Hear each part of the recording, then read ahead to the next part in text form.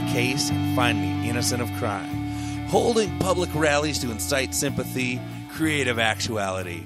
If I were a killer, I'd smile just like the boy next door. If I were a killer, I say I'd do it for the poor. If I were a killer, you'd bring me victims more and more. If I were a killer. This is the Community Solutions Podcast. Post election, coming at you. Everything's complete bedlam, and we're we're here to sort it all out. Andrew Richter's here with me, Jason Bradley, as normal.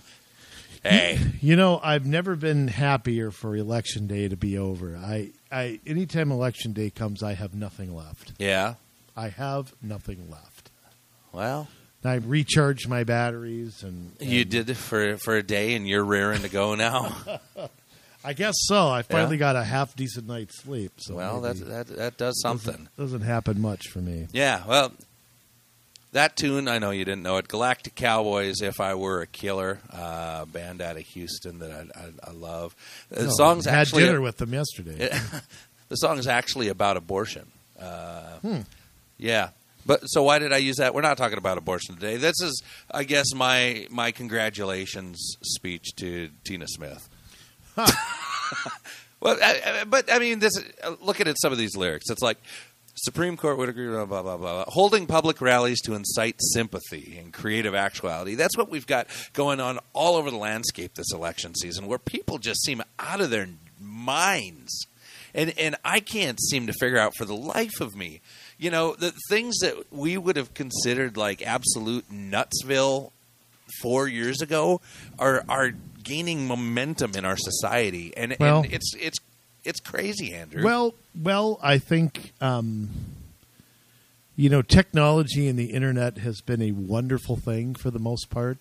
It's been a huge net positive, in my opinion. Yeah. Um, especially considering doing what you and I do, which 20 years ago we couldn't have done. right, But I think it's also given a plat. Now, look, I believe in freedom of speech, Mhm.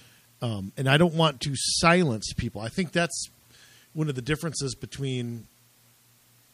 I don't want to say people on the left and on the right because that's overgeneralizing. right, One of the differences is there's a, some people who want to shut down their opposition, and there are some people who want to defeat their opposition at the ballot box. And I think that there's, I think the side that wants to shut people down is growing. yeah, Um, one of the things that concerns me, um, just generally speaking, is what's happening on college campuses. I mean, Right. college campuses are maybe the most intolerant places in this country. I mean, first of all, it's bad enough that you spend a hundred grand, get a degree in African American studies, and then go work as a waiter. Okay, that's bad enough. Okay, I mean, you, you can't get much worse than that.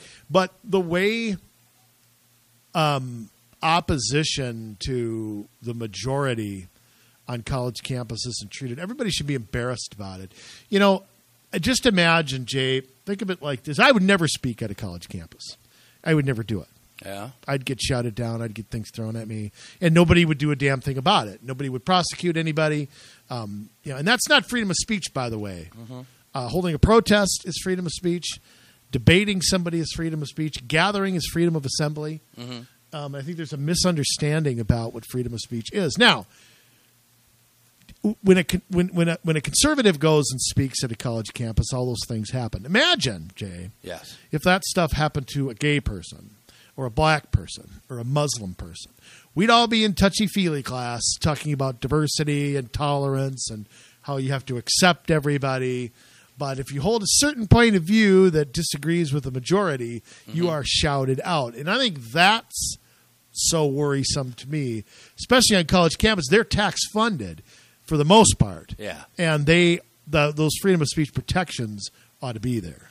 Well, and this isn't anything new, but it's so much worse than it used to be. Uh, when I went to college, but uh, I was at the College of Saint Scholastica up in Duluth. Uh, we're talking mid '90s here, so it, it was a while back. And, And I- that's 1990s for you people. that, that, that's true. Not the 1890s. Not that old. Uh, 2090s haven't happened yet. So, uh, I was head of an organization there, and we were putting on a. Um, we were having someone from a local radio station come and speak, and she was going to talk about gender roles. You know, just uh, to to have a discussion and and stuff like that. But it was it was not your liberal point of view. It was somebody that you know uh, worked at the local Christian radio station. I'll just uh, come out and say it. Uh, so we had So maybe and, and it w- it was a female on top of it. so maybe a more modern, traditional. Type yeah, you know, it wasn't going to be misogynistic. I mean, we're having a woman do it, you Right. know, uh, but it it was crazy because we had our, our posters were being torn down, uh, and we're pretty sure it was a concerted effort because not only were all of our posters being torn down, the college itself decided to create an event on the same topic on the same day and gave credit for the for their like freshman orientation class that they had. I forget what they call it, but all the freshmen had to take it. It was basically indoctrination class. Gave credit for that class if they went to their event rather than our event because they were at the same time on the same day. Uh, I remember also sitting at a round table with people from uh, from the college, and you know, this is I'm not Catholic. I've never been Catholic, but it was a Catholic college, still is, I, I guess, even though they don't act like it. Um, I remember being at this round table, and and there was a lesbian woman that said, "I think that all straight people need to be slapped in the face." That was okay. That was okay for her to say that. But if I had said that, that Yeah, I think so and so need a slap in the face, need a wake up call, whatever, I would have been the bad guy. CNN, Don Lemon, Van Jones. Yeah. I mean, do I need to go on? I mean, uh, you know, it's it's become it's become where some people have a license to say whatever they want, and some people are castrated the second they have an opinion. What happened to Tucker Carlson, where uh, Antifa just vandalized his home? Yeah. and um, um, were chant. He wasn't home; his family was home. Yeah. though, and I mean that's I- that's an act of. T- if the Ku Klux Klan did that, it would be an act of terrorism. It'd yeah, be a hate it would be crime, a hate crime. You know, which hate all crimes to a certain extent are, Are hate, yes. It's just silly. It's just extra protection for certain groups, which again is unequal treatment under the law. So, I mean, there's the, the free discourse of ideas is something. But I'll tell you what, I think the big problem is that people don't get prosecuted for this stuff. I mean, there's no. Um, and, and the other problem is it's a concerted effort. Do you think thousands of people just end up doing something just because they have nothing? But you know, I mean, uh, Republicans lost a lot of elections in Minnesota and nationwide. Right. They won some. That's you know, and midterms often go against the party in charge. Not always, but usually. Um, um, and it means nothing for the year 2020. If you don't believe that, see 2012 and 1996, and then see the midterms before that, and tell me this means anything for 2020. It means nothing. Right. But um, where I was going with this is that, you know, when when President Trump won, the reaction from the people who didn't vote for him Yeah. was disgusting. The looting, the um, I, I don't mean the peaceful protests. That's different. The hate-filled, uh, you know, uh, rhetoric, the unwillingness to accept the threats to, you know, change how we vote and blah blah. blah. I mean, the reaction from the left was sick Yes. conservatives got up the morning after the election went back to work there were no there were no rocks thrown through windows No. there was nothing Nobody like shutting down freeways, Yeah. marching, and yeah, it's an happen. so i mean there's you can see you know who's the adult in the room and who isn't and who if they don't get their way and how they act and so but it does concern what concerns me though is that they're they're being cheered on they're being funded nobody seems interested in that story um, you have ignorant people there who are just there to boost numbers they don't know why they're marching talk to somebody who was in these women's marches and none of them can explain why they showed up. They're just there. Ah, we're just marching. You know, Yeah. they're all beat sitting in the unemployment line, I guess. And you know, um, I always say that you have to turn things into action, and, and by action, I mean exchange of ideas. I mean meetings. I mean door knocking. I mean running for office, and so on and so forth. But the civil discourse, uh, and I, maybe it's time for everybody to retake Civics 101. I, I've never heard more um, um, from The View. The one with the red hair, I never can remember her name. Joy Behar, right. that one. yeah. um, claimed Okay. that uh, the next day that the reason the Republicans won the United States Senate was because of gerrymandering. oh, Now, you think she passed civics class? probably not. Yeah, I don't think so. I mean, How can you gerrymander two votes a state? and uh, it's an at-large election per state. You know, uh, I think we're going to move a border over with North Dakota about. Just think, 30 she gets paid hundreds of Yeah. thousands of dollars to have a show and make comments, and claimed it was gerrymandering.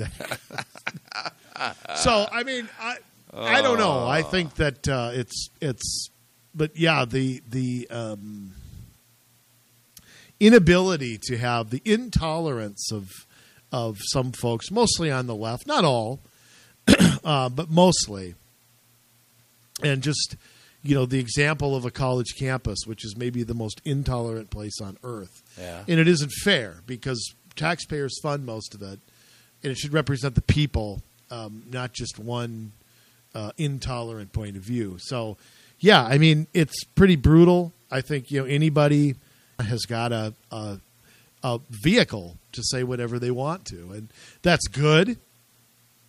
Generally speaking, Yeah. um, but uh, and again, I don't want to shut anybody up, and I don't think social media should be doing that.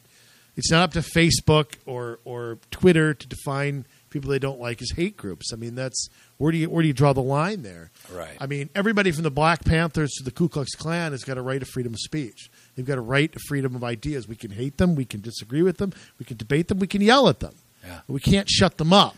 if we don't defend points of view that we disagree with, when our point is the one that's unpopular, who's going to stand up for us? Uh, it can get outlawed. If we want to outlaw somebody's point of view, Yeah. what? How are we any better than they are? And I'll tell you, I don't agree with any of those groups. I think Neither do I. I think that what they stand for is atrocious.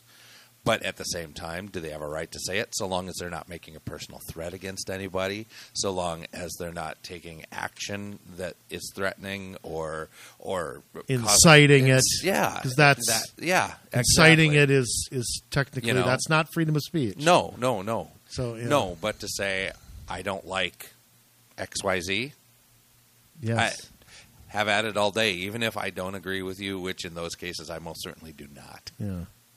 No, I mean you're right, and I think that uh, I don't know. I fear where it's heading because I only think it's going to get worse. I, I really don't know what's going to make things better. Right. I, um, I, I just Because this is the other thing. I mean, if we're not allowed to say what's really on our mind, if we not, if we don't have freedom of speech to say certain things, we don't really know who people are either, which is another problem. Well, and but- we know who members of the Ku Klux Klan are because they they are free to say it, and we know to disassociate ourselves with those people because that's the other part of the First Amendment, or one of the other parts is freedom of association. Mm-hmm. Well, we it we need to know who we're associating with, you know, or the freedom of disassociation is also, I would say, you know, in parallel to that, we have to be able to to know who people are so that we're free to not associate with them uh, based on what they believe or, or or don't believe, and if they're forced to put that under a mask, then where does that leave us? well, I'll tell you what. The biggest threat, I, I think, one of the biggest threats we have in this country is political correctness. Oh yes, I mean, um, if you can't have an honest conversation about, um, uh, you know, what's wrong with, uh, yeah, I'll just come out and say it. I mean, what the hell? Um, there's problems in every community of color, white included. mm-hmm. And if you can't freely discuss that, then where are we in, in terms of problem solving? I mean, I'll just give you an example. And I know we're meandering here, but this is kind of a meandering show. Well, I mean, we're we're, we're going to get to. I mean, we're gonna- this we're is we're setting little- the stage for the election, election and we're going to talk about the election stuff. But you know, I I saw a forum, and I'm trying to think of when this was. It's maybe a year ago, about um, what to do about with with young black folks in Minneapolis. They focused on black in particular, and you could. I, I, I, and there's differences in each kind of. Unfortunately, the way things have evolved, both by choice and organically, you end up with little neighborhoods of little Somalia and little blah blah blah. Yeah. Of course, this goes all the way back to New York, 150 years ago, you had Little Italy and blah blah blah. Uh, and I think that's unfortunate. I don't like that. Uh, you know, I, assimilation is something that one of the problems we have with immigration is we don't assimilate. We keep bringing people in, but there's no you know assimilation into society. They don't become Americans. Um, but the whole conversation, and this was with, I should say, with black panelists, which is interesting because no point of view from any other race was welcome or there or featured or anything. It was all blacks talking about blacks, which you know you might think is informative, but when I listened to it, I thought to myself, this is exactly why we're where we're at in inner cities. And you can pick a different inner city. You don't have to pick North Minneapolis. Right. You could pick Chicago, you could pick Detroit, you could pick I don't have to name them off. You know where you know the inner cities. Okay? LA, whatever. The big complaints I have a model of success, Jay, and I think Yes. this I think this everybody defines success differently. I still think we think it's all about money. I don't necessarily agree with that. No. But but success here's the three keys as a young person. Number 1, your high school diploma is a must. An absolute must. You can get it for free. There's no excuse not to get it. Yeah. You need to stay away from unplanned pregnancies. Uh, if you are a teenage parent, you are you got a foot on your throat when you start. And not, not not that kids aren't great or blessings, they are, but you have kids when you're ready, mm-hmm. when you're have a house and you have a spouse as oh. well, hopefully, or whatever. Two good parents can make things work. I know in today's society, marriage doesn't seem to mean anything very much, but when it comes to having a family, there's so many broken families. It happens. I agree. It happens. Yeah. It's I don't hate. Look, I don't. I don't have bad things to say about them. I'm just saying, if you're 17 and you're pregnant, you are You're starting limited at- uh, to yeah. what you can do. You probably be spend the next 10 years waiting tables. Okay, just a fact. It's just going to take you twice as much work to get where you want to be. Yes. I mean th- th- that's what you're trying to say. no doubt about it. Yeah. And the third thing is you have to stay away from gangs. You have to stay away from drugs. Yeah. especially young people where their brains are developing and you know that stuff can turn into a lifelong addiction. Mm-hmm. You know nobody who's 68 years old decides to snort crack for the first time. When do you do it? Okay you do it when you're young. So the point i'm getting at is that that goes through all races all gen all genders both genders or any other gender you can think of other. Th- Um, there are only two. That's a medical fact. that's That- what i think too don't but care what people have Yeah. to say about that. True. Um, so I think that's universal. Yeah. Uh, some people start out a little ahead than others. You're never going to erase that. There's no such thing as an equal outcome. But if you look at what is plaguing minorities, particularly blacks in the inner city, it's one of those three things. Yeah. But I tell you this, I mean, you talk about equal outcomes. I can show you a bunch of people that started with nothing and became something. Right. I can show you a ton of people that started with everything and became nothing. Yeah. You know? But but here's my point. Yeah. by watching this forum. None of these so-called leaders, and I use that term uh, loosely, I guess, Yeah. would admit that those things were really problems. Like one of the things they kept saying is, "Well, we need more black police officers." I don't know why. I don't know why it matters what color an officer is. If they're doing their job, then it shouldn't matter. But here's my question: If blacks aren't graduating high school, okay, and they're not they're having a kid at 17, and they're doing drugs and drinking at 16, how are they going to become police officers? Yeah. Don't you have to fix that problem 1st Mm-hmm. Now, I come out and say that. and There are people who think that's a racist statement. But I come out and say, wait a minute, what did I say that was, you know, when, when half the black kids in Minneapolis don't get a high school diploma, what happens to them? Yeah. They end up on the public dole. Mm-hmm. They end up in poverty. They end up turning to things like gangs and things because they don't have money and they don't, you know, whatever.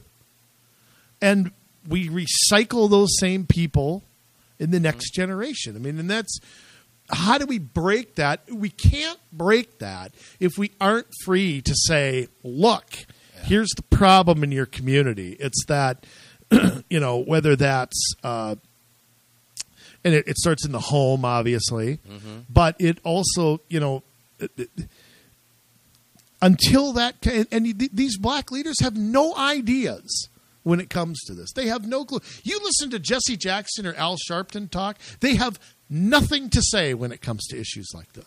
It's just pull out the race card. It's oh, you white people don't know, you don't mm-hmm. care. But I mean, it's and I'm I sit there and I say, you know, there's nothing I'd love more than for North Minneapolis to not be a ghetto and to be a thriving place for people to live and work in a safe place, a gang free place. Th- There's nothing I would want mm-hmm. more than that. North Minneapolis is a dump.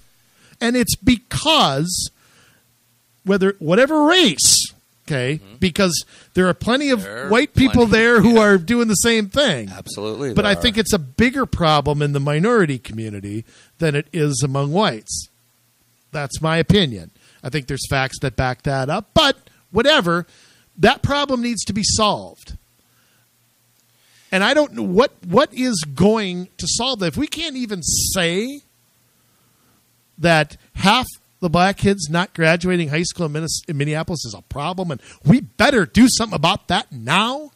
Well, look How at do the, we, how do we expect a different outcome? look at the leadership we have in Minneapolis, though. I mean, do you really expect you anything You think different? that's leadership? I mean, I mean, yeah, that it's an absence of leadership. But look at, I mean, it, it doesn't who matter put them who there? they elect. Who put them there? Yeah, the people of Minneapolis. So who do we have to blame for the leadership? Then? The people of Minneapolis. So if Minneapolis wants to change, They can.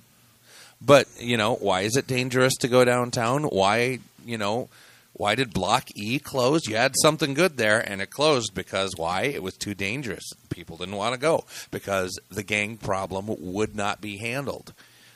You know, of it, course not. If you come down hard on it, you're called a racist. but you know, where's yeah, but they don't think that's the problem, you know, and and and that's the thing. I mean, I'm going to put this up on on uh, my next Instagram post, and so you guys can go check that out on Instagram at comm solutions mn. But I, I showed Andrew this uh, before we went on the air. Uh, I was happened to be in North Minneapolis, uh, just west of 94 and just north of Broadway. And um, there was a garbage can sitting out. It must have been garbage day. Uh, it was full of garbage, whatever. Big screen TV sitting next to it. Uh, you, you can see this in the picture. But it lists out, I, I guess in chalk, on the garbage can, what North Minneapolis's problems are. Hmm. They've got it figured out, Andrew. Cops, men, hmm. sexism, racism, and hate. Hmm. Never mind Now, that. since Minneapolis has organized garbage hauling, is that destroying city property? Ah, that's a good question. Of course, the person won't get prosecuted for it. Well, you know that the that men are a problem. That's not hateful, I guess. Not it, it would not be. No, it would not be considered that. No. Okay. But but that's the thing. I mean, our priorities are messed up, and we don't know exactly what.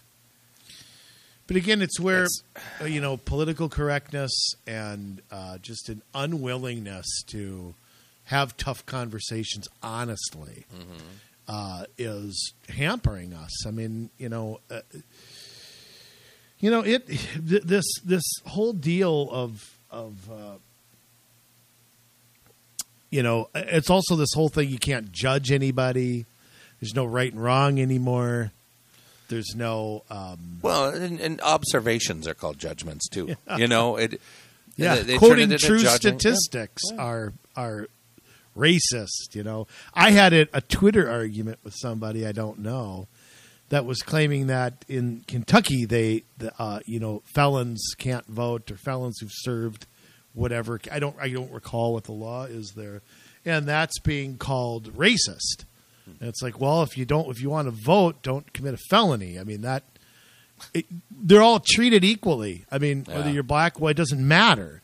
But since blacks get incarcerated more, it it it quote disenfranchises them from voting. Right, and and you know, I imagine there's an argument to be made, you know, against you know drug laws and all that, and who they unfairly target, and you know, But- but ag- again- that's neither here nor there. Yeah. I mean, it, it the the law prosecutes people equally. You know, if And- you're a felon, you can't vote. Right, and there Right. is there are some questions about defense attorneys and whether that's really equal and so on and so forth. But again, the solution to that is to not commit a crime. That's the solution. Um, Yeah. it's kind of like watching Liar Liar when when Jim Carrey got a phone call. Uh, have you seen that movie Yeah. before? And and uh, it was like the person who got arrested for the fiftieth time. And he grabs the phone. And he goes, "Stop breaking the law." but it was just it was great about you know isn't there isn't there something in that and look drug laws and and I'm going to surprise some people with my answer here need to be looked at as to whether they're serving a, a, a legitimate cause or not. Yeah, I mean because I've always said that gun laws don't seem to stop anything. We Oh, no. make more laws and we seem to have more of a problem, not less. Right. Well, drugs, we've made every law on the face of the earth. We've done everything from just say no to scare people. And that doesn't seem to be working either. If there's demand for something, Mm-hmm. the supply is going to be there regardless. So I think this is, you know, something that I think people on the right are going to struggle with. Um, Yeah. I know I have uh, because I think things like marijuana are a gateway drug. But um, is it time to debate whether this is futile or not? hmm I think it's long past time. Uh, you know, when it comes to the harder stuff, I don't know, but Yeah, I think that uh, people have to be open to the fact that, you know, I think it's something in the thirty percent or something or marijuana related crimes that take up court costs, and you know, people have paraphernalia in their car and they're being prosecuted. Is that the best, you know, use of our law enforcement? Is that the, you know, I don't know. Problem is, drugs destroy lives. yep, It's they do. true.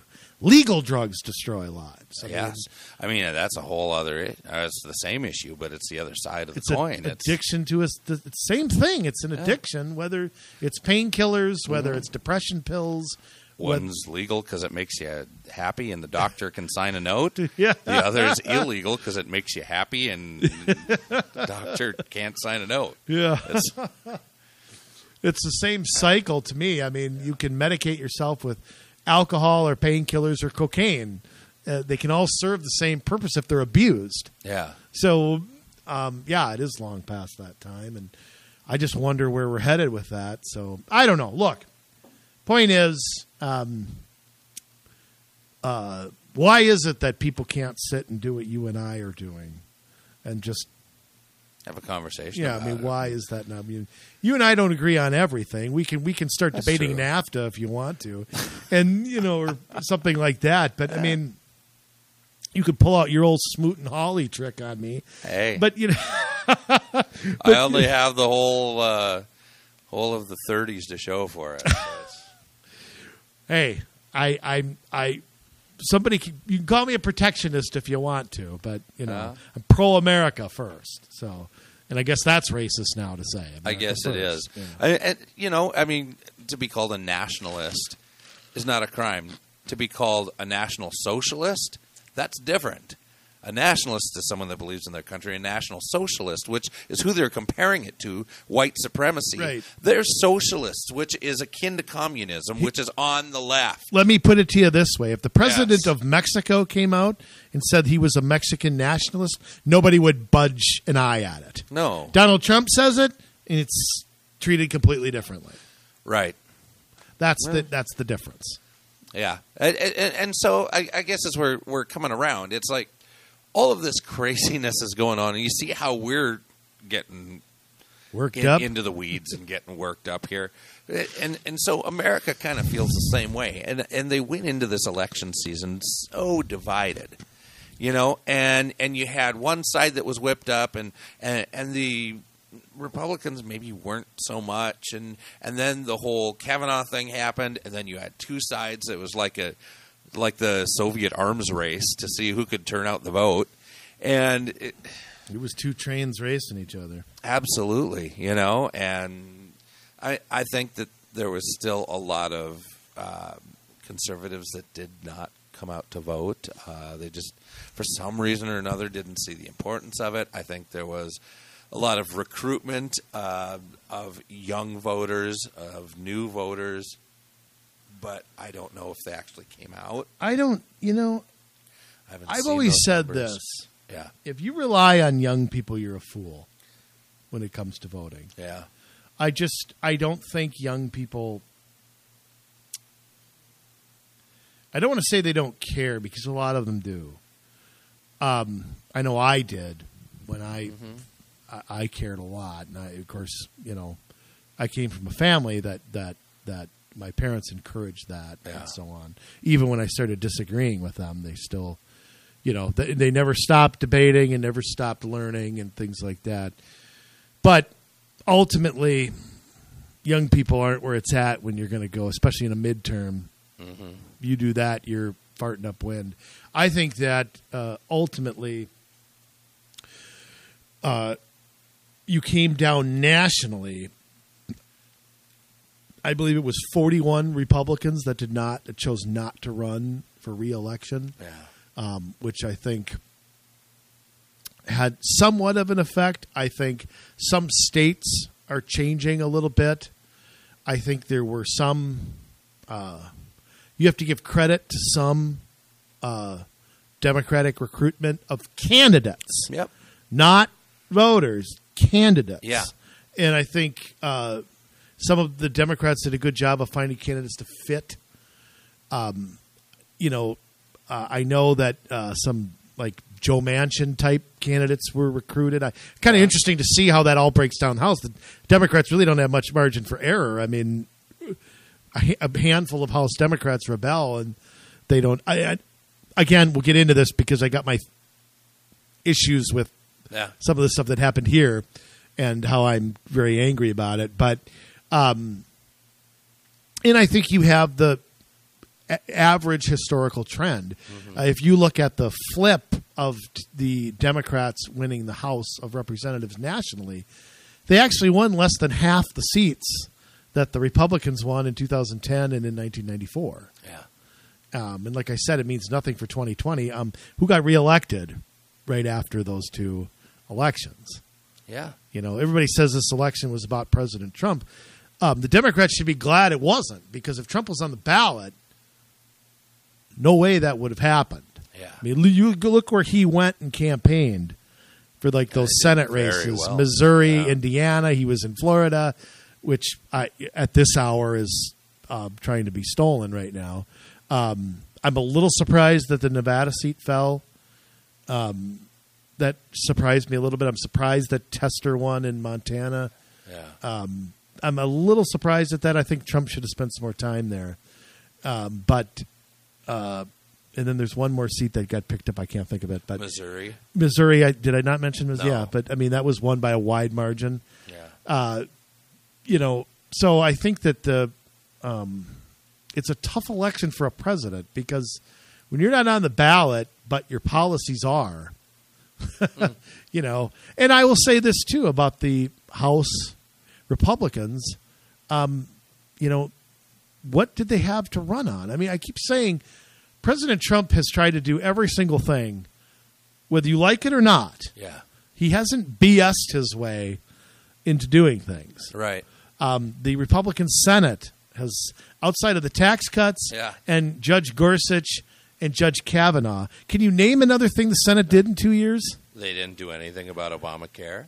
They didn't. They killed it. anything about a wall. They didn't. You know. Yeah, Trump's built it through executive order. They've used their own funds to they've Yeah. diverted the funds. So I mean, Yeah. immigration not solved. nothing.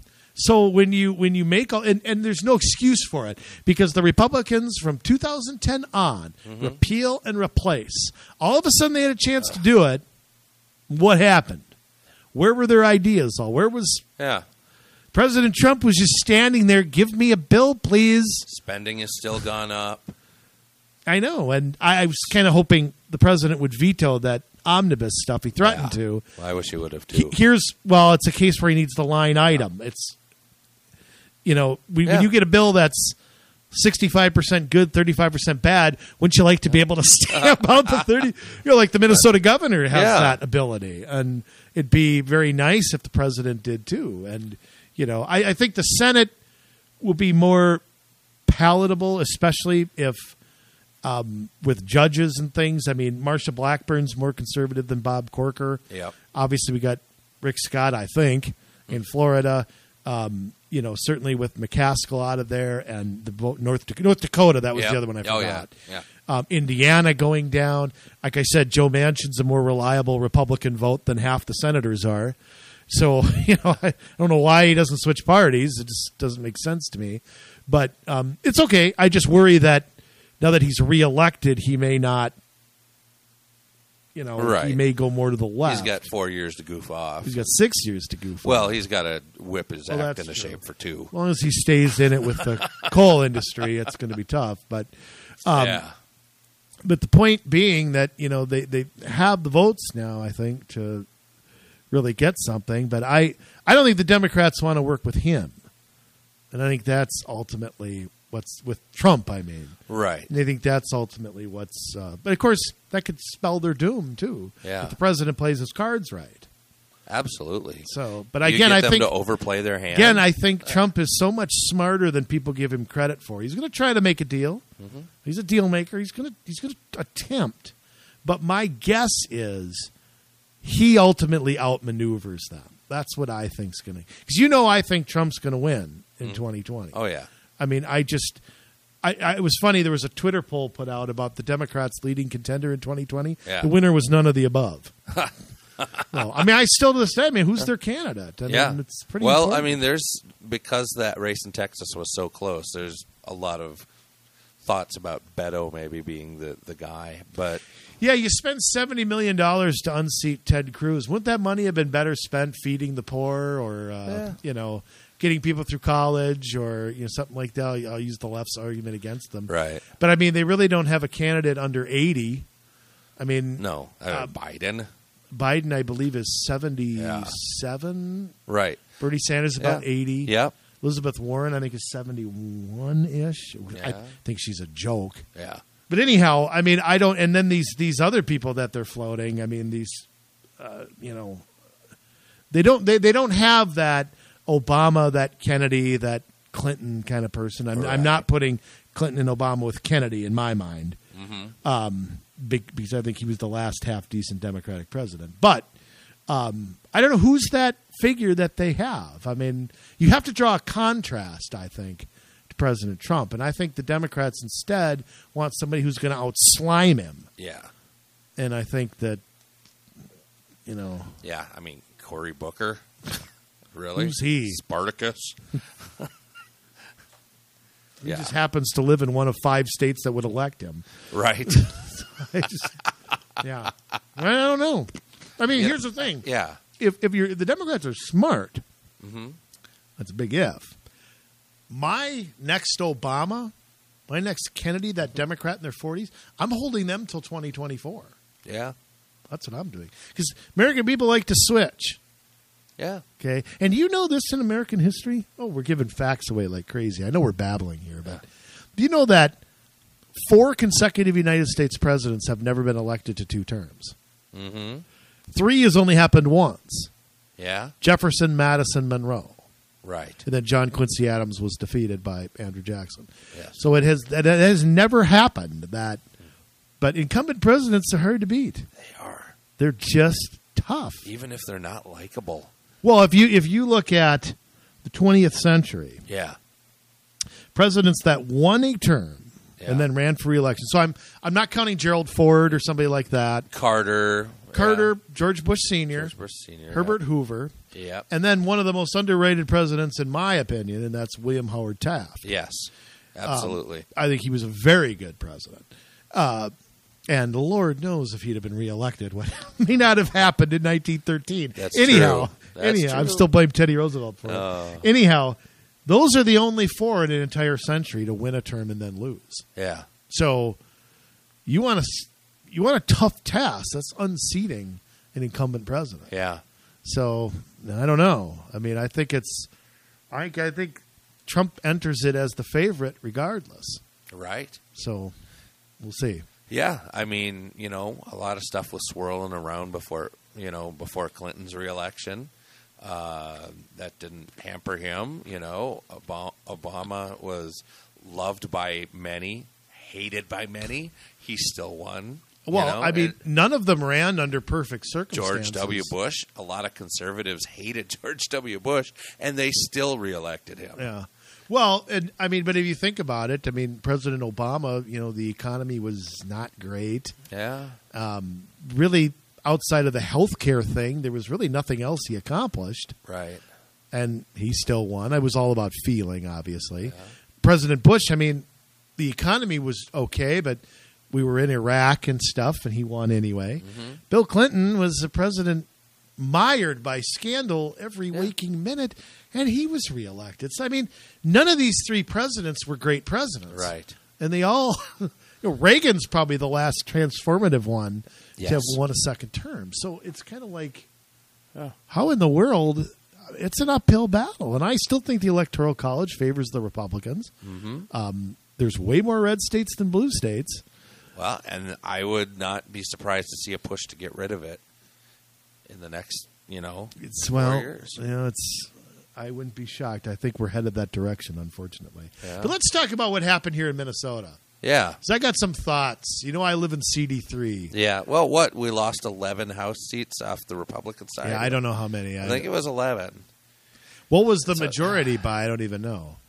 I don't They, they still have their one seat uh, Senate uh, yeah, box seat. right. That that stayed in Republican That's- hands, yeah, and so uh, so we're not totally in in the blue here. There's some balance, some some ability to shut things down as long as they don't fold like a cheap suit. I don't know. I think there's enough fence strap. There's enough uh, Lisa Murkowskis in the Senate that I, I don't think there's a working majority. Yeah. I don't think there ever was. I think you have maybe it's 34 to 33.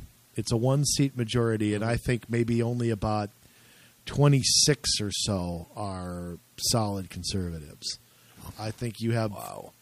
Depending on how you'd grade it, and everybody does these scorecards and that crap, uh, where they cherry pick ten votes or whatever. Yeah. I, I see anywhere from five to eight waffle.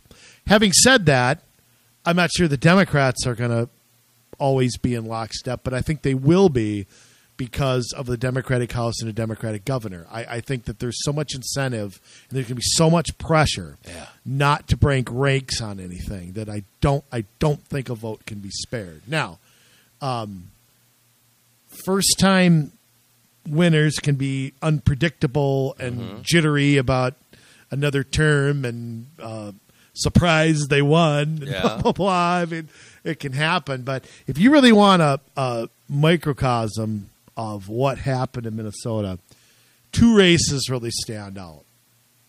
And being in CD3, I could sit here and make fun of this all day long. As you know, Eric Paulson was Yeah. defeated. Mm-hmm. And I am going to give a lot of credit for that to two people. One, Eric Paulson, Yeah. and the other, Dean Phillips. And Eric Paulson did not run well, and he was not helped by the people around him or the outside groups around him that he doesn't control. Mm-hmm. You know, it's illegal for a candidate to collude with the House Republican Committee either at a state or a federal level. Yeah. So I can't hold him responsible for that, but I do hold the Republican Party responsible. I will credit Dean Phillips up and down. I think he ran a great campaign. I did not vote for him, will not, but uh, Dean Phillips did a great job advertising. He did a great job um, not being hate filled. He did a great. Now the Democratic National Committee was different, but Right. Phillips himself, um, he did a great job making it about Paulson, not Donald Trump, which was a big mistake Terri Bonoff made. Terri Bonoff could have won that election two years ago, and she got smoked, and and it, it could have been hers. Hillary Clinton won the third, uh, but Paulson was reelected easily. But I think Bonoff was the one who ultimately made the mistakes. Eric Paulson was invisible as a candidate Yeah. you are in an the republican moderates are the ones who got their clocks cleaned and i believe that you either have to embrace what's going on or run from it what you can't do is this half in half out stuff Right. you know what I'm saying? I mean, some people like Jason Lewis got beat anyway, but Lewis went down kicking and screaming. Some of that was the advertising against him. Some of that advertising was genius. Yeah, I agree. I mean, they, we got outwitted. There's no doubt about it. I mean, that ad that had like undercover camera footage of him walking into the DC uh, Senators Club or whatever, the, the the rich people's club. I mean, I, I, when I saw that ad, I'm like, he's done. yeah, and, and why didn't we film Angie Craig doing the same thing? Yeah. What is she on food stamps? Dean Phillips. What is? Yeah. Who's the rich guy in that race? Yeah. Phillips. Um, I think though that uh, you have to give him credit. I couldn't watch a YouTube video without seeing a positive Dean Phillips ad on there. Um, and the Republican Party and the side groups did Eric Paulson no favors. Yeah. The last thing that was put out by the Republic, I, I don't know who this was. There's the HRCC and there's the NRCC, and they're two different groups. Right. was all about how Eric Paulson supports common sense gun laws. now, Jay, stop and think for a second. Yeah. The nutty gun law people are already voting on one side. Yes. They're not going to change because of that issue. Oh no. Oh no. And Paulson is not a nut when it comes to gun control. Yeah.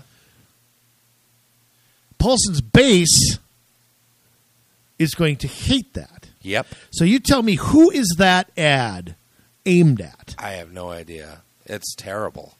If I was in the third, good chance I would have voted Constitution Party or Libertarian Party. I don't know if there was a candidate, but you could have wrote in somebody. But yeah. but I mean, Yeah. what was the thinking there? I don't know. Now, if Paulson himself had done that to highlight the fact that, and I'm just spitballing here, highlight the fact that he's more moderate than blah, blah, blah. If he thinks that's what he has to do, that's one thing. If I am MNGOP or the National Republicans, Yeah. how in the hell are you putting that out thinking that that is going to turn I mean your job is to get the Republicans out. That's your job. Mm-hmm. Okay? What who put that together? Somebody who doesn't understand the voter base at all. And I, honestly think the the commercials they put out against Dean Phillips were terrible. They Yeah. made him they made him look like a victim. They Yeah. were they were given Fs by media. Put out a, a KSTP, Yeah. which is Tom Hauser and those guys are about as fair as it's going to get Yeah. as far as mainstream media here. I like Tom. It's about as fair. Yep. He's like the Tim Russert of Minnesota, if, if I can make a comparison to Yeah. the fairest guy you might find in Washington. Right. Okay, that doesn't work for Fox. Now, I, I didn't mind the, the ad about uh, the whole healthcare thing, not a- offering healthcare. Uh, that one I think was was pretty true from what I understand. The one about I know what you're talking about, yeah, though. he doesn't care about women. He he let uh, sexual misconduct go in his company. What? Like he has any control over some Yahoo that he hired? No kidding. I mean, why are you putting out that ad?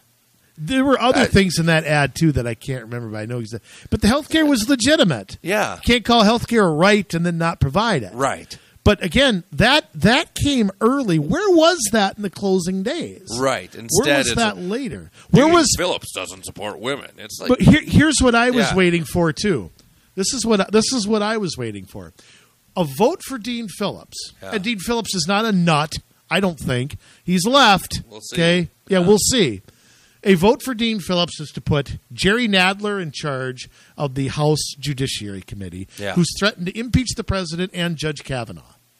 It is a uh, it is a vote to put Nancy Pelosi in charge of the House. It's a vote to put Maxine Waters in charge of the Government That Operations Committee. anybody. Where Yeah. was a commercial with Maxine Waters threatening violence, saying a vote for this guy means these people are in the majority, Mm-hmm. And that's who's going to take control. Yep. There should have been a big Mount Rushmore with Pelosi, Nadler, and Maxine Waters with their arms And around Schiff. Dean Phillips and Adam Schiff too, Yeah. who's now going to be in charge of investigating everything that's been investigated 500 times. Right. And of course, it's a Washington investigation where it's an investigation in search of a crime. We don't know anything's happened. We're, we're not going to stop till we find something. Right. So, um, where was that? Yeah. It- the the ads were terrible. And I come They're, back to this. they're, the the Democrats put out good ads. The Republicans put out crap. It was crap. It was really was crap, and unfortunately, and I'll, I'll, I'll bring it down to the state level. Yeah. Dario Anselmo, Our favorite, who wanted to make tobacco twenty one plus. Dario Anselmo Yes. tried to kiss butt to every liberal group he could think of, from gun control to tobacco twenty one to blah blah blah. You know, you got to stand for something, and he got his clock clean worse than any Republican incumbent across the state. Mm-hmm. And let that be a lesson. Let it be a lesson. Yeah. that that is not going to work. You got to have some principles. You just do. And if you don't, you're going to lose. But I'm telling you, I think there were a lot of Republicans there who didn't vote for him. Yeah. I mean, I, I it's the only conclusion I can draw. Right. Uh, I don't know if they wrote in somebody. I don't know what happened, but I think he. Some people might have left it blank. Um, I don't know if I would have pulled the trigger for him. Yeah. I don't know either. I don't. I don't think I would have. Yeah, I I wouldn't have voted Democrat. I would have voted something else. I- right. Well, you know, But- I told you that I voted for Daffy Duck and Harry Arm. yeah. when it came to Plymouth City Council, and I believe it was uh, uh, county attorney. Yeah. I I think because you had two DFLers running against each Right. other. Harry Arm, H A R R Y. So it's Harry, a real guy. Yeah. Arm. Yeah. Okay, that's who I voted for. so yeah, I mean, the only thing I could think of is to have such a turnaround there. Um, and I've shared this with you that you know I have I won't vote Democratic, but I will vote Independent or Libertarian if I think the Republican isn't up for it. And- Yeah, I, I would consider myself an independent because, yeah, I will vote Constitution Party. I will vote Libertarian. I will vote Independence Party. I, if I, I will go with my conscience. You know, just because I am more than likely never going to vote for a Democrat. Uh, you know, that doesn't mean that I'm not an independent. I mean, the, the Republican does not have my vote by any means. not They've got to prove themselves. Yeah, not an automatic. No. So it was uh, statewide. I don't even know if I, I. I tell you what, if there was one Republican that I thought ran a good campaign, Mhm. it was Doug Wardlow. Yes. Um, he did great advertising. He was the only Republican that I saw doing YouTube and, and stuff like that. Uh, I think, unfortunately, there's enough unprincipled people on the other side Yeah. that care about power more. Yeah. and ultimately, um, uh, I don't. Uh, I don't want to get into what I think of our attorney general elect. Let's just leave it. But I, I- mean, this is a thing. I mean, and, and we're talking about this now, and here we are, you know, a couple of conservative guys, and we're willing to go off the reservation, if you will, not vote Republican if if the Republican stinks. Um, go and look at other parties, but the Democrats seem to be able to line themselves up, even if they don't agree. They will. They will. If they're a blue dog Democrat, they won't always, but a lot of times they they don't mind going behind somebody that's a, a democratic socialist or somebody that has broken so many laws that it's obvious they don't care about about our legal system or or create why should they be creating the laws if, if they have no regard for them like Ilhan Omar Right. like Keith Ellison that have a laundry list of things that, that Well, and and where are the so-called leaders of the party? I mean, um, yeah you know, uh, our great Senator Klobuchar, who hid out, was campaigning in Iowa. yeah Um, didn't want to answer questions about anything like she that. She didn't need to well, but yeah to me, she has a duty to do Oh, it, whether she doesn't want to or not. But she knows this state doesn't care. They'll elect her. they know her side doesn't care. Yeah. That's what she knows. Yeah. So, um, just I mean, for the party in Minnesota, just an embarrassment. I mean, I I don't know what happens. I think a shakeup is needed of some kind. I'd like to know where all this money we raised was spent at the MNGOP. I mean, I'm not blaming anybody down there. Nobody there should be a sacrificial lamb. Ultimately, they weren't candidates. Um, the top of the ticket was pretty weak, I thought, but um, we bragged and bragged about all this fundraising, and I'd like to know what where it went. Yeah, because let me say this. I don't know how many pieces of literature I got from that were funded by unions, funded by Planned Parenthood, and, and and they were the size of this computer screen here. I mean, they were big. They, I, what is this? There's like a 13 inch screen here, so they were like a 13 inch piece of of uh, lit, full color, glossy, paid for by your family's union or by hmm. Planned Parenthood. For all the Democrat candidates, I probably received 20 to 25 hmm. of these pieces of lit. Guess how many I received from the Republicans? Hmm. Zero. Zero The, pieces the of only time I got something was asking for money.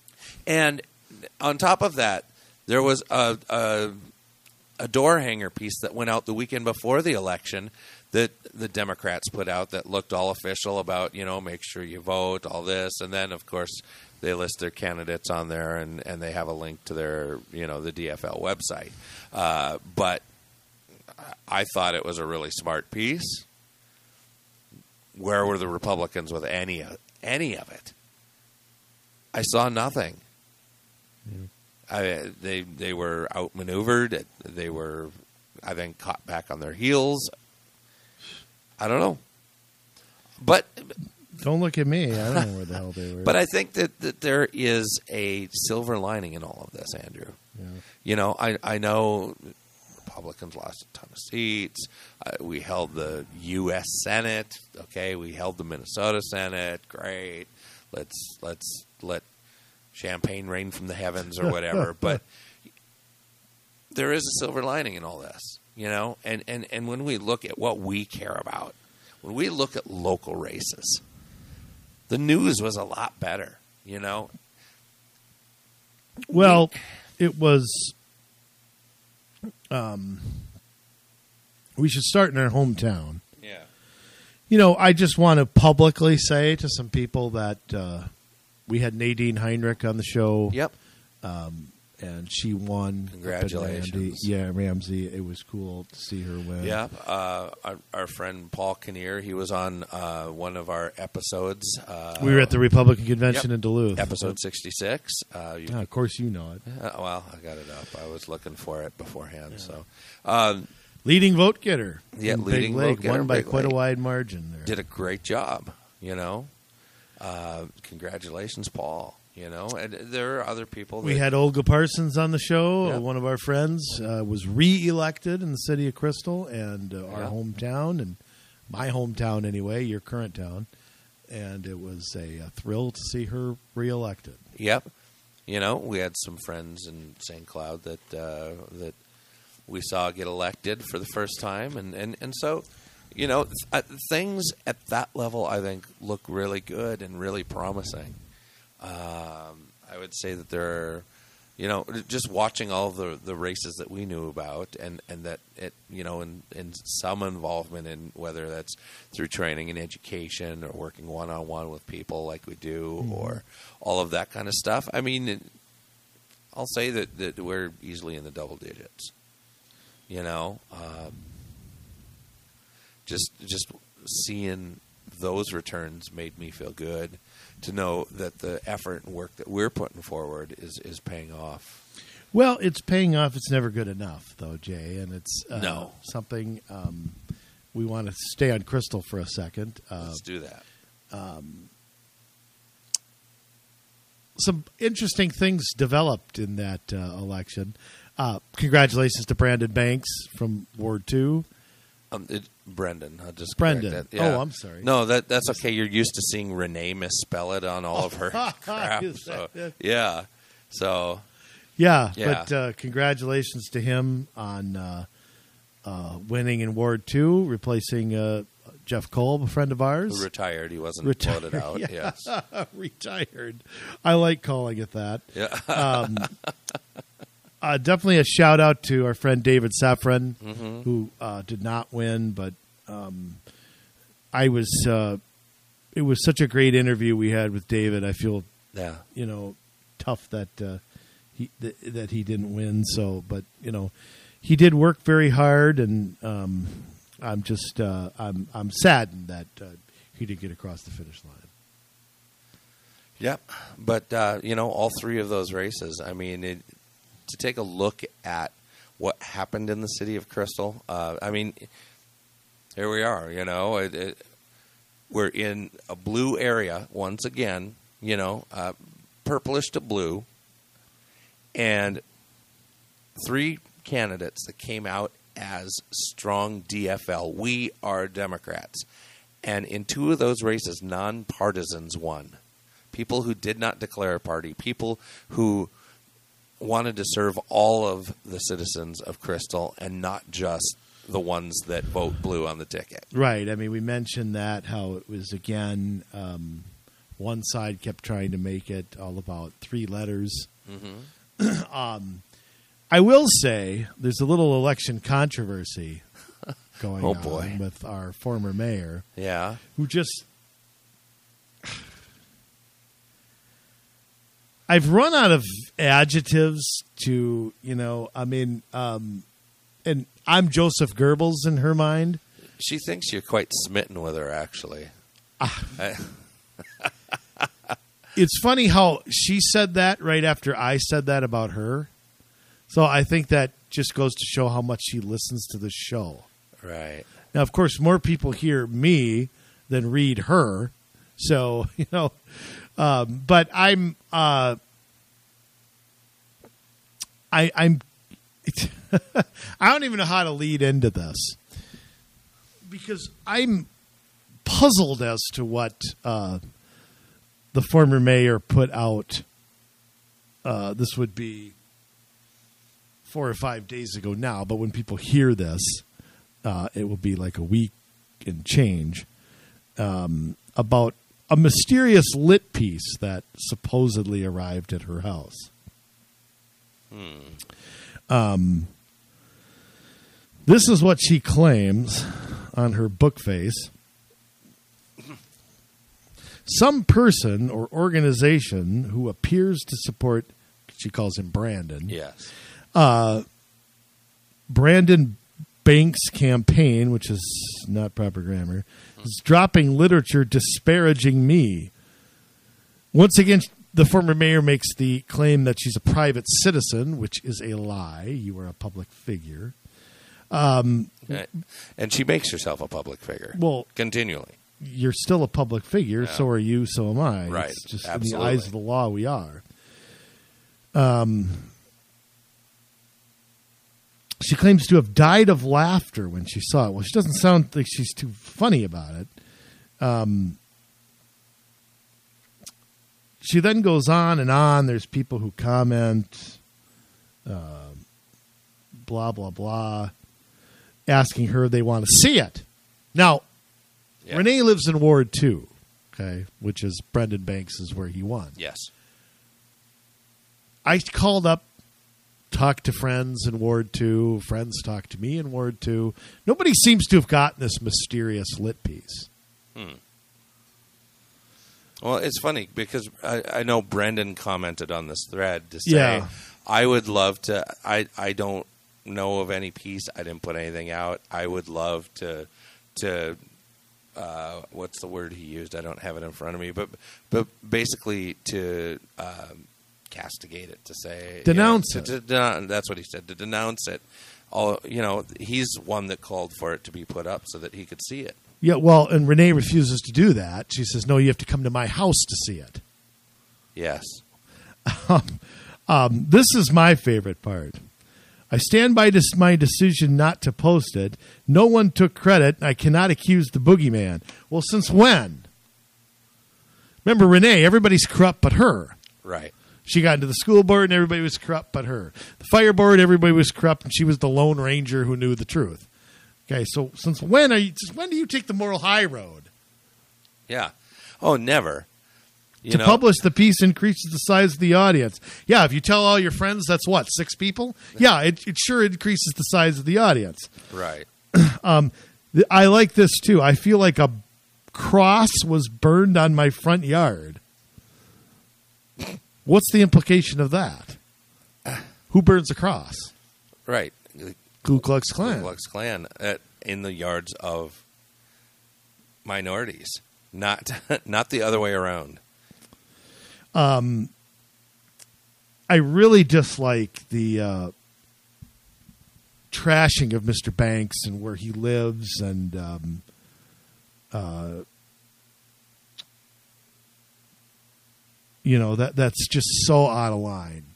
I mean, I thought the Democrats were the were the party of the poor and that they all have a voice and they all can serve and we you know in, and to disparage that is just sick. Um, uh, Mr. Banks was very uh, uh, good in his response. Yeah. I'm glad he's not. Uh, you know, he was classy, and uh, you know, um, he just refused. I just put it to this way: he, you know, he asked for it to be shared, to be sent to him. Uh, ReNae just doesn't want to do it. Can I raise a specter, okay. Jay? Yeah. Since Miss Bowman refuses to publish this, and some nobody else got it or nobody knows about it, Yeah. Is it possible this story is bull? It's very possible.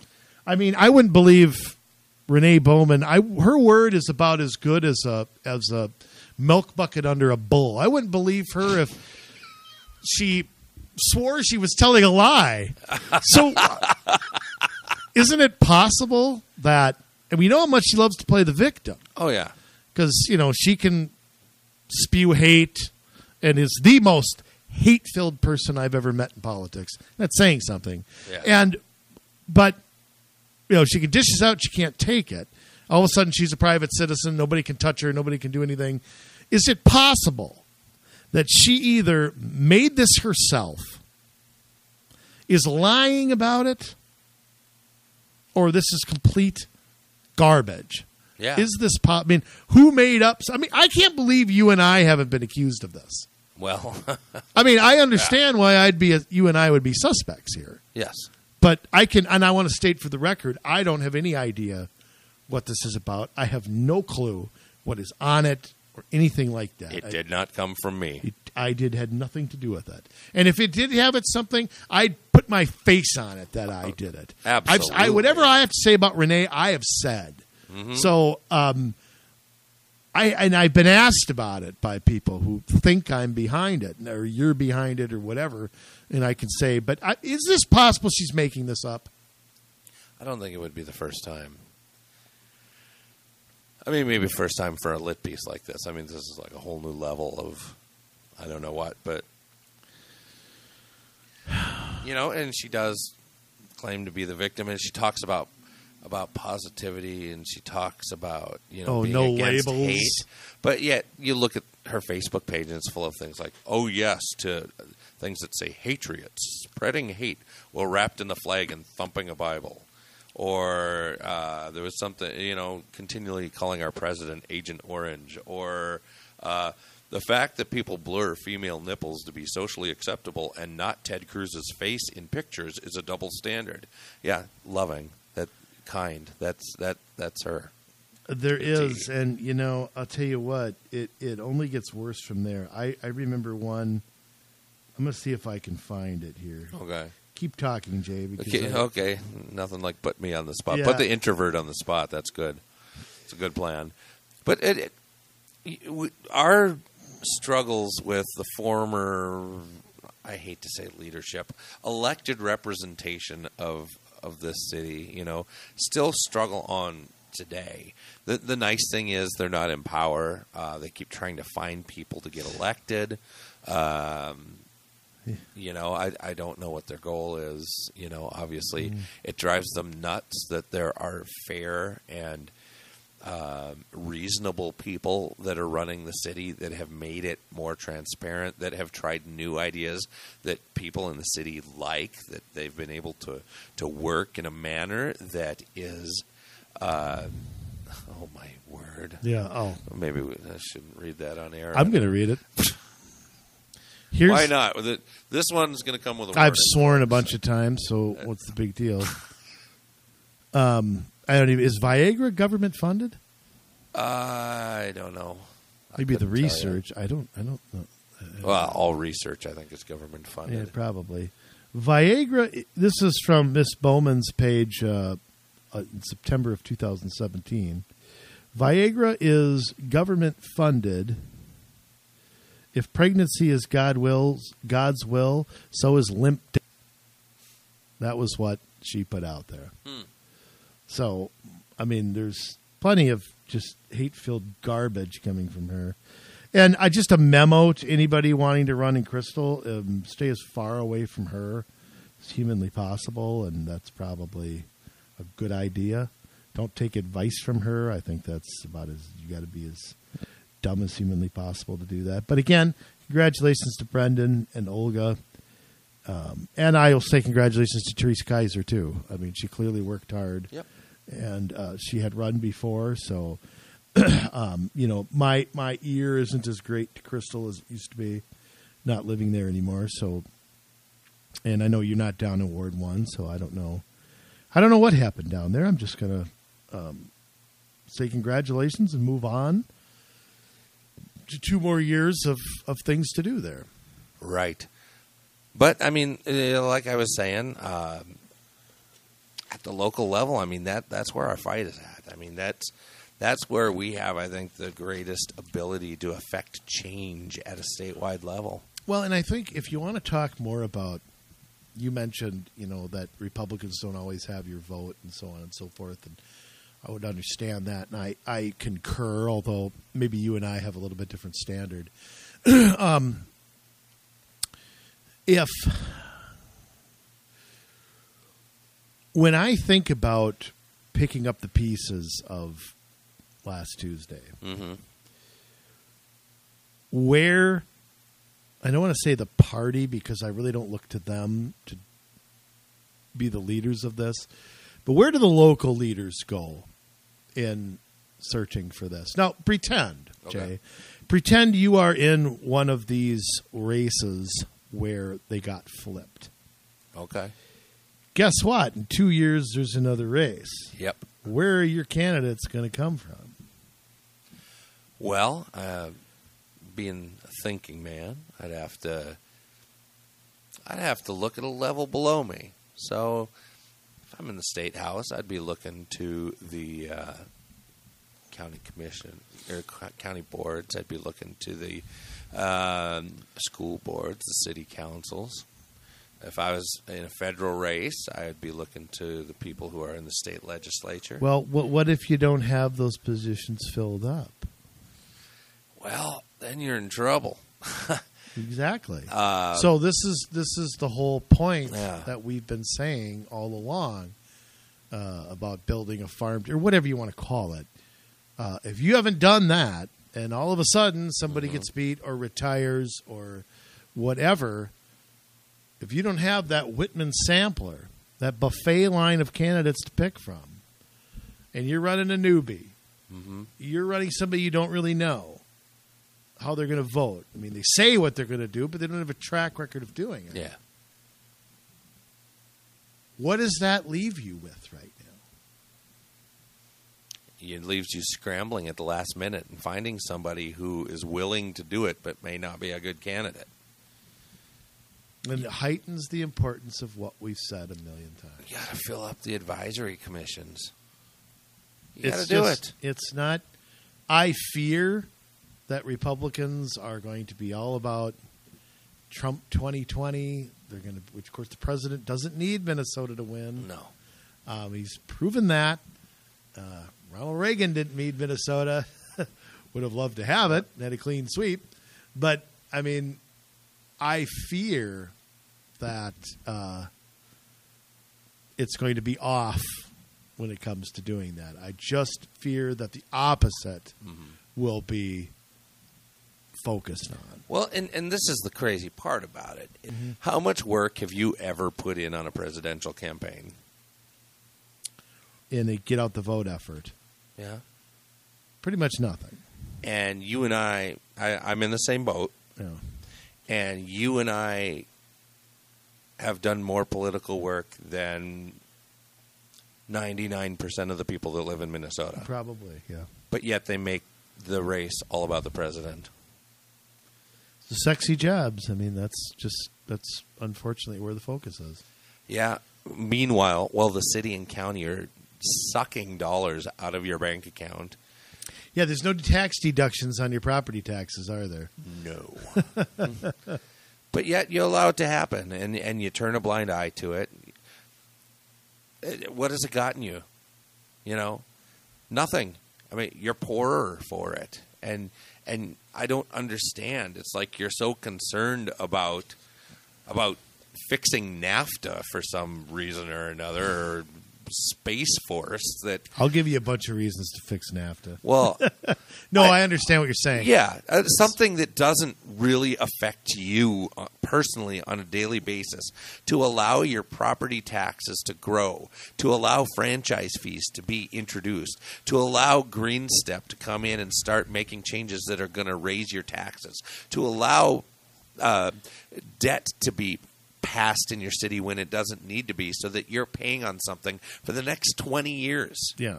You name everything: complete streets, tobacco 21, uh, gun control measures, uh, GARE.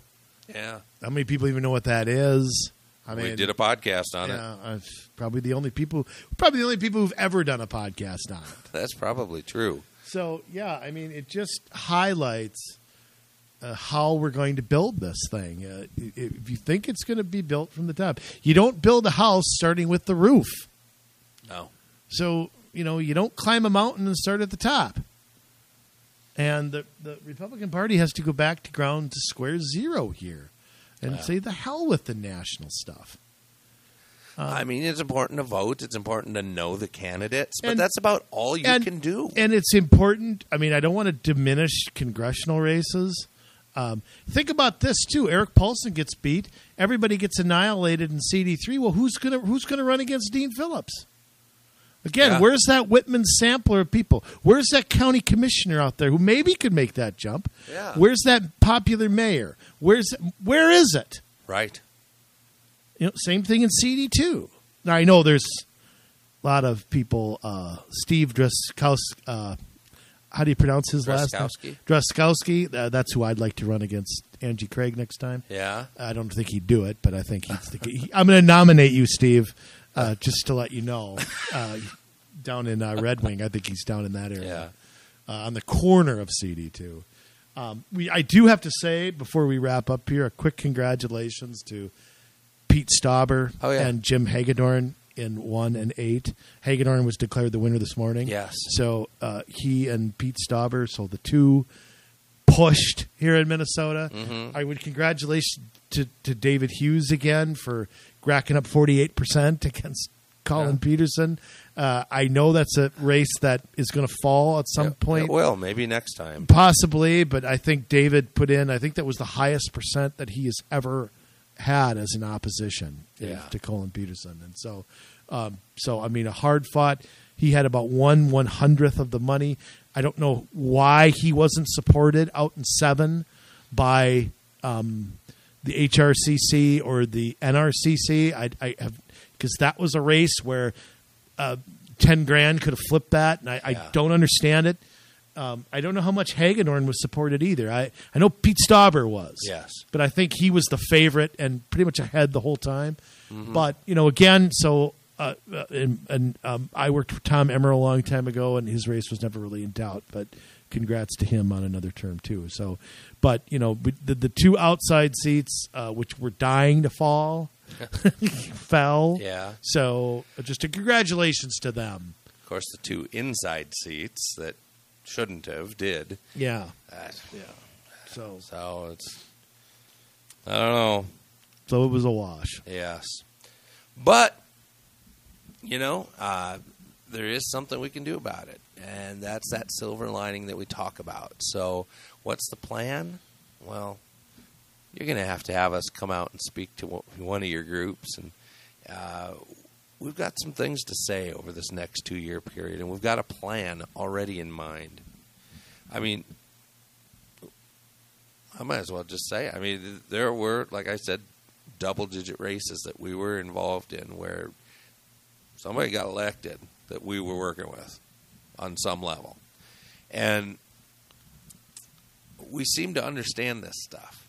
And I'm not bragging on us by any means, but what I'm saying is there's something I am. There's something to this. and we've got a plan, and we want to be able to share that plan with as many of you as possible. So if you have a group and you want to change your community, you want to stop paying higher property taxes, you want to get rid of franchise fees, you want to keep your roads in your community um, reflecting the character uh, that they currently do rather than having four lanes turn into two with a center lane and two bike lanes. And three roundabouts. Yeah. Hey, you know where we're at. We're at COMM Solutions MN at gmail.com. That's COMM Solutions MN at gmail.com, and we'll come speak to your group.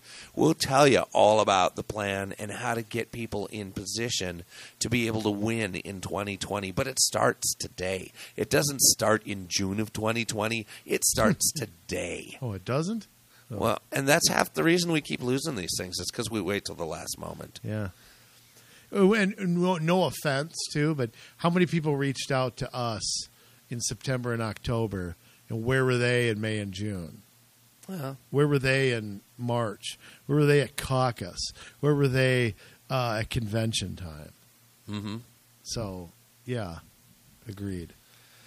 Yeah.